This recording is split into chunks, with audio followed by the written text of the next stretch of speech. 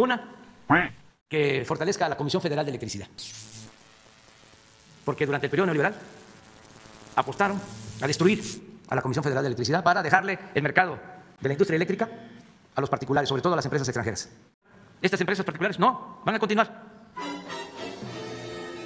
Pero vamos a poner orden para que el 54% del mercado corresponda a la Comisión Federal de Electricidad y el 46% a particulares.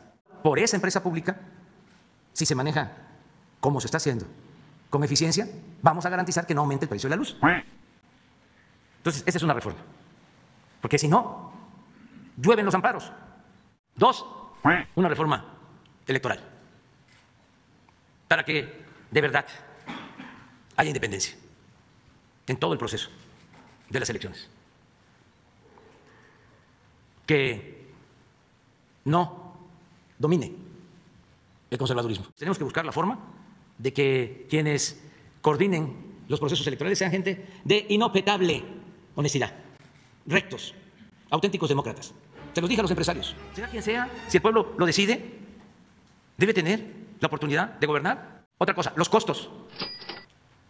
No es posible que se destinen 20 mil millones de pesos a las elecciones para partidos y para el INE y el tribunal. Otra cuestión, ¿para qué?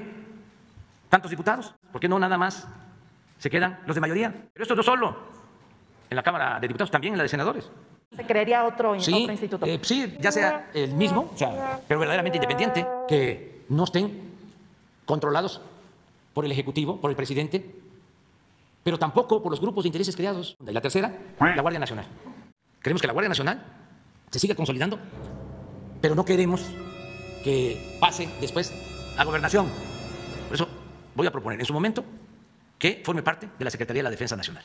¿Cómo eh, existe la Fuerza Aérea de la Defensa? Una rama, porque también no quiero quedarme con la responsabilidad de no haber eh, propuesto las cosas que considero convienen al país.